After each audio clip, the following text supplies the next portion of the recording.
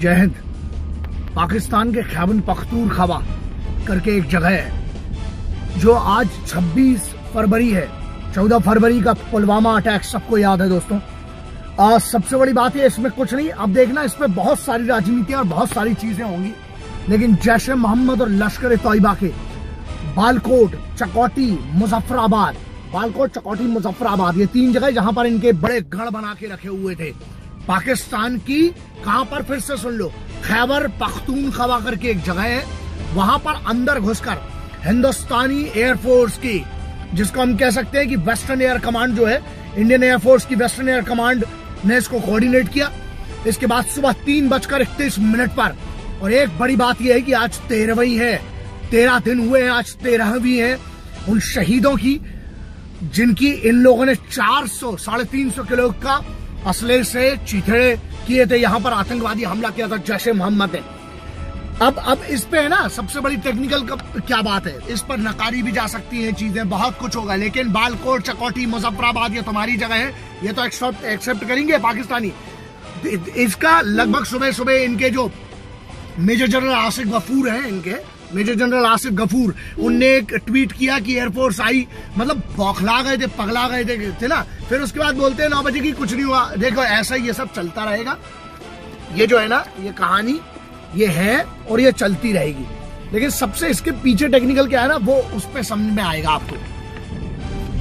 आज सुबह सुबह तीन बजकर इकतीस मिनट पर एयरफोर्स के हमारे फाइटर जेट्स जो है मिराज 2000 राइट बारह के बारह अंदर घुसे, इनने साढ़े तीन सौ किलो मारा था। कम से कम हज़ार किलो इनके ऊपर बॉम्ब गिरा के आए हज़ार किलो के। और ये जो बड़ी बात है, अगर ऐसा कुछ नहीं है तो कला शाह महमूद कुरैशी, जो इनके फॉरेन मिनिस्टर है, उसने क्यों अफरा तफरी में इतनी बड़ी कॉन्फ्रेंस बुलाना पड़ी? क्यों कॉन्फ्रेंस बुलाना पड़ी फिर? अफरा तफरी में इतनी बड़ी। पहली चीज़। दूसरा टेक्निकल पॉइंट ये है कि जो हम, ये जो इतना हल्ला और जो गुल्ला और जो चिल्लाएँगे ना, अभी हमारे इधर भी, कि सर्जिकल स्ट्राइक आप दो, तेरहवीं से पहले, तेरह दिन से पहले बदला लिया गया है। घुसकर मारा गया है। और अगर ऐसा नहीं था तो जनरल बाजवा, जो L LOC line of control में फिर क्यों गए थे? जनरल बाजवा इसलिए गए थे, ये बताने के लिए, अपने ट्रूप्स को अलर्ट करने के लिए। अच्छा जब हमारे इधर से, जब मिराज घुसे हुए फाइटर जेट्स जब बारह अंदर घुसे थे तो एफ़ सिक्सटी ने रिटेलिएट करने की कोशिश की। घंट कुछ नहीं कर पाए। और अब चाहे कुछ भी बोल लो, एक बात सुनो अब चाहे कुछ भी बोल लो बट यस साढ़े तीन सौ किलो का, कम से कम हज़ार किलो का बारूद। और ये जो बहुत बड़ी बड़ी बात करते हैं ना, पाकिस्तान की कुछ लौंडेला पहाड़ी है, या जो, क्यों भाई आप बोलते हो कि जैसे मोहम्मद से तुम्हारा कोई लेना देना नहीं है। अच्छा तो वो उधर पे आके, हाफिज सईद पर काय को रोता रहता है तुम्हारे चैनल पे आके? हाँ अजहर मसूद काय को चिल्लाता रहता है? मसूद अजहर तुम्हारा मौलाना। अरे बात तो ये अपने नाम के आगे मौलाना लगाए, तुमने मौलाना की भी बेइज्जती करी रखी हुई है। So the technical point is this कि तुमको घुस कर तुम ठुक चुके हो, इसके बाद तुम अब टेक्निकलिटी में कुछ भी कर लो। तेरह दिन भी नहीं हुए, हमारे हिंदुस्तान में तेरह भी बोलते हैं। इन बच्चों की तेरहवीं भी नहीं हुई, इन सिपाहियों की। और तुम ठोके जा चुके हो तुम्हारे घर में घुस के अंदर मारा। सबसे बड़ी बात क्या है? जैसे मोहम्मद लश्कर तोयबा का, जो तुम्हारे हेडक्वार्टर है ना, जो तुम्हारे कमांड सेंटर है, उसमें घुस के मारा है। और अब तुम कुछ भी करते रहो, उससे कोई फ़र्क नहीं पड़ने वाला है। अब आप आओगे, बनी बात है कि हाँ हाँ वो तो एयरफोर्स आई थी। अच्छा अब तुम इल्ज़ाम लगा रहे हो हिंदुस्तानी एयरफोर्स पे कि लाइन ऑफ़ कंट्रोल का उल्लंघन किया। अबे, जब से बनी है ना, जब से तुम लोगों ने हज़ारों बार घुसा है, और हिंदुस्तानी फौज, मेरी एक लाइन याद रखो। और बोल रहा हूँ, पाकिस्तान के नॉर्मल आदमी से ना कभी प्रॉब्लम थी, ना कभी होगी। वहाँ पर भी बच्चे हैं, वहाँ पर भी मासूम है, वहाँ पर भी बुज़ुर्ग है।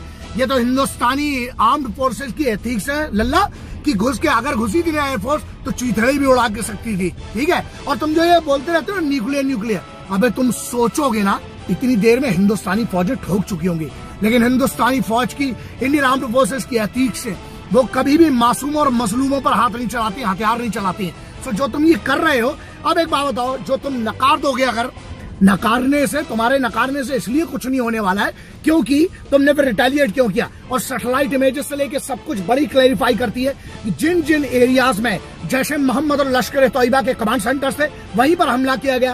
कोई बनी बात है सिविलियंस को अगर मारना होता इंडियन एयरफोर्स को अगर घुसना होता एक सिर्फ़ एक मिराज या एक सुकोई की बात करें ना, अंदर घुसेंगे तो फाइटर जेट ना चीथड़ा उड़ाते हुए भी जा सकते थे। एफ़ सिक्सटीन आपकी कुछ नहीं कर पाई है। And you have this thing on record मानो चाहे ना मानो, तुम्हारा तो ऐसा है ना कि तुम तो पालते आए हो। और पाकिस्तान को जो टेररिज्म की जो बात करते हो, जो ऐसा की हम जो बात कर रहे हैं, जो इनके टेररिस्ट ऑर्गेनाइजेशन है तुमने जो पाल के रखी है, यार तुमको तुम्हारे लिए भी नासूर है, तुमको भी पता है। और अब सबसे बड़ी बात यह कि अब अब हमारे तक बात बड़ी ये नहीं है मैटर क्या है वो सुनो। मैंने एक लाइन लिखी थी तुम्हें बहुत जल्दी समझ में आने आना चाहिए।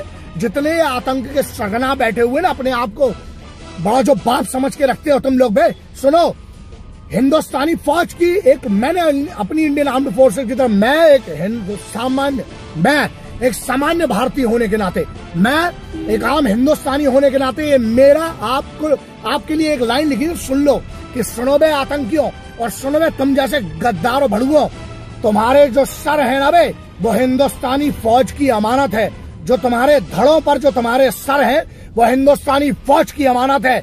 जिस दिन चाहेंगे साले कराची इस्लामाबाद से काट के ले आएगी फौज। वो है।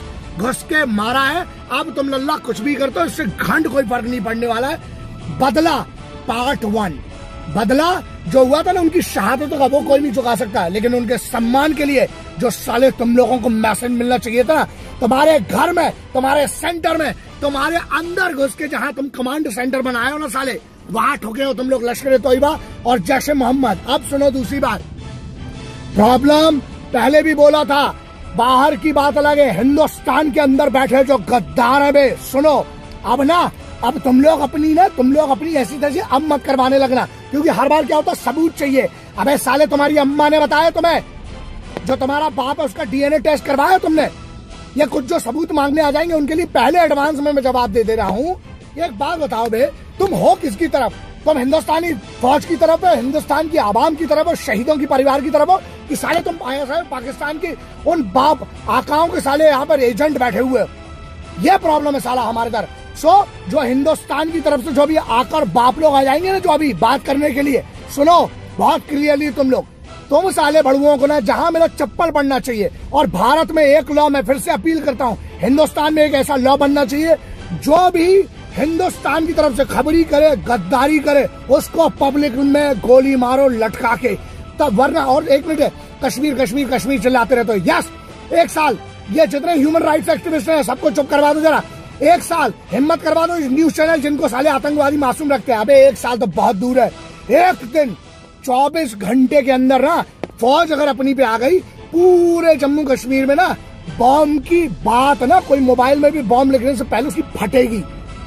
फौज अपनी पे, प्रॉब्लम क्या होती है? हमारे इधर के गद्दार खड़े हो जाते हैं। इसलिए दोस्त, हम सबको इकट्ठा मिलना पड़ेगा। हम सबको अपने सिपाहियों की शहादत की इज़्ज़त करना पड़ेगी। और आज जो बदला हुआ है, ये पार्ट वन है।